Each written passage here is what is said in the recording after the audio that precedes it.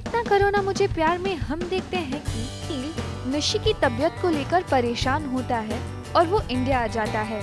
निशी नील को देखकर बहुत ही खुश होती है।